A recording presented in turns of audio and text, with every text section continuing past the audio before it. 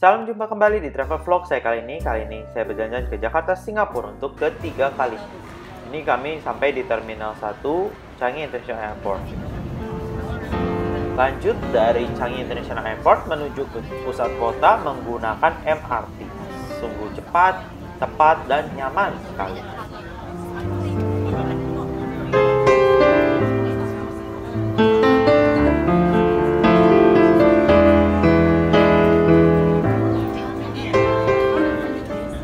MRT langsung dilanjutkan menggunakan bus kota.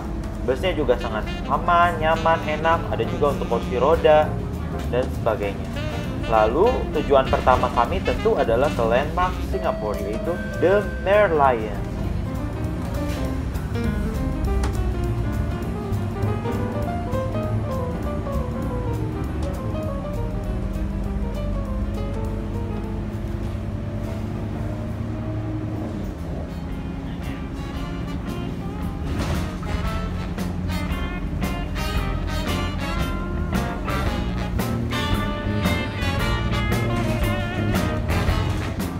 Menuju ke Merlion Park menggunakan bus, kita bisa melihat di kiri kanan banyak objek-objek. Di sini ada Supreme Court of Singapore, bentuknya bangunannya seperti UFO.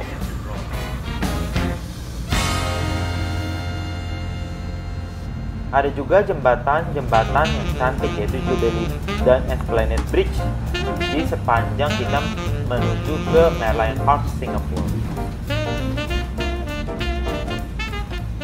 Jembatan lain yang cukup menarik adalah Anderson Bridge. Dari segi desain arsitekturnya berwarna putih ini sangat indah.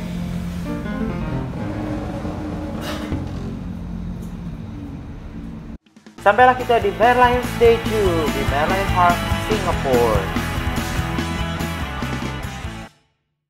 Tidak jauh dari Merlion Statue ada Helix Bridge. Bentuk ini mengikuti bentuk rantai DNA manusia, double helix.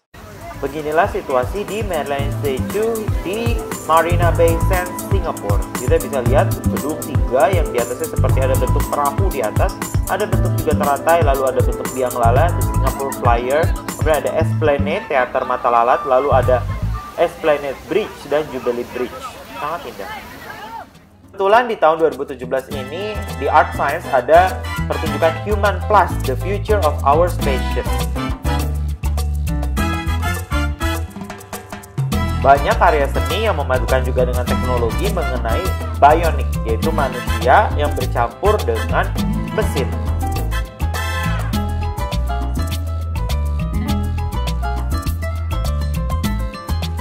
Banyak foto-foto dan patung-patung yang menunjukkan penggantian organ manusia yang digantikan oleh mesin. Ada juga extra ear surgery yang ada di sini.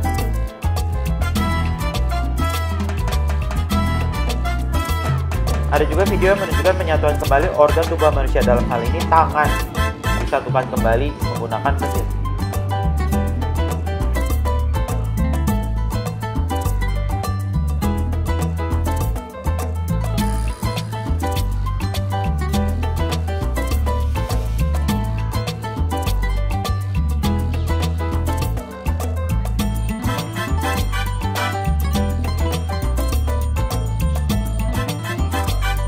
Juga karya seni berbentuk patung-patung bayi-bayi yang sangat unik yang bentuknya merupakan penggabungan seperti manusia dengan alien.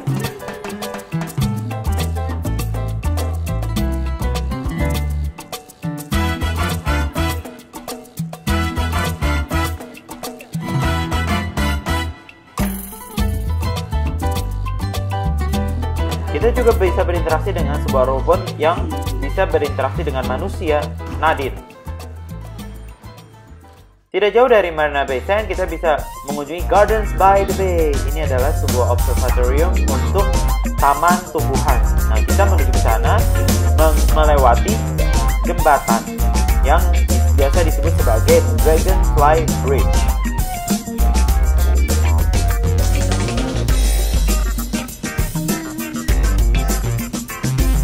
Beginilah pemandangan dari Dragonfly Bridge. Ada Singapore Flyer, ada juga Super Tree. Kebetulan kita mendapat kesempatan untuk masuk ke Cloud Forest di Garden by the Bay. Ini merupakan seperti hutan buatan, ada air terjunnya juga dan ada bertingkat-tingkat di dalamnya yang sangat menarik.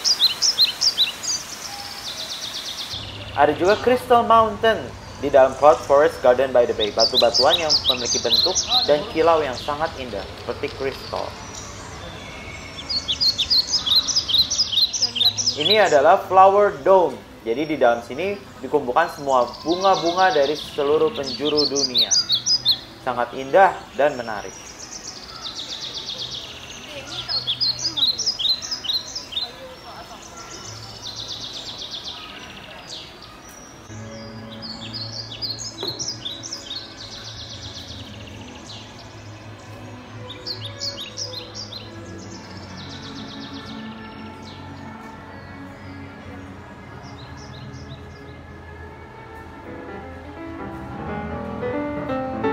Salah satu taman yang kita kunjungi di Flower Dome adalah South African Garden, jadi bunga-bunga dan tumbuh-tumbuhan khas Afrika Selatan.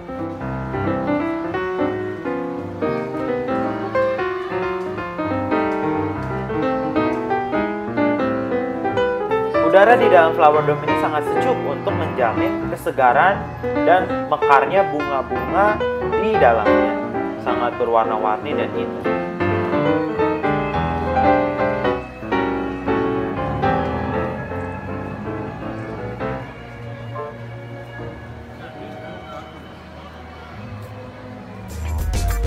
Lalu kita masuk ke Marina Bay Sands Mall. Nah, di sini kita bisa lihat brand-brand ternama di dalam mall ini.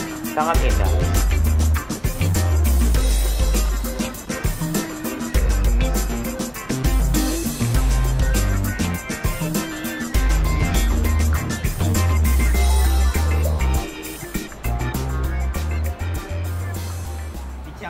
Setelah dari Marina Bay Sands, kita mengunjungi tempat yang tak boleh dilewatkan, Chinatown di Singapura.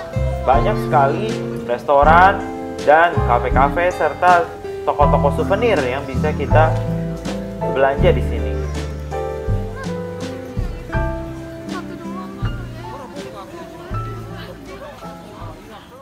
Di dalam kawasan Chinatown juga ada kuil Buddha yaitu yang dikenal sebagai Buddha Tooth Relic Temple yang di dalamnya tersimpan relikwi gigi Buddha. Harus sopan ya di sini. Kita juga sempat untuk jalan-jalan di malam hari ke Orchard Road, Singapura. Selain dari Orchard Road, kita jalan-jalan ke How Far Villa yang ada di Pasir Panjang Road, Singapura. Ada berbagai penggambaran neraka di sini.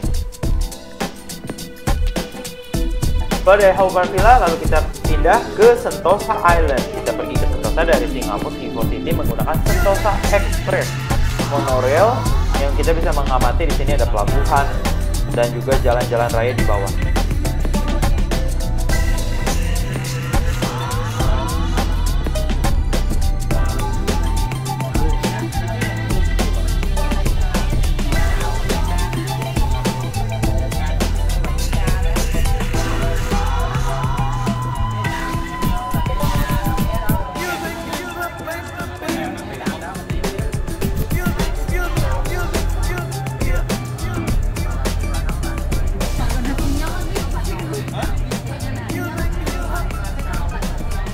Menuju ke gerbang masuk dari Sentosa Island.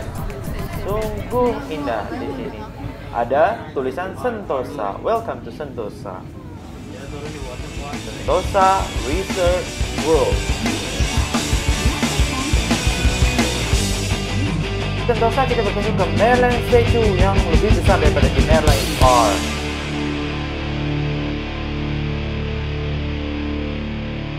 Lalu kita juga jalan-jalan ke Universal Studio Singapore. Ini adalah Universal Studio Club di depan pintu masuk Universal Studio Singapore. Demikian jalan-jalan singkat ke Singapura kali ini, saatnya kembali ke Jakarta. Sekian travel vlog saya kali ini. Jangan lupa like, subscribe, dan komen channel YouTube saya.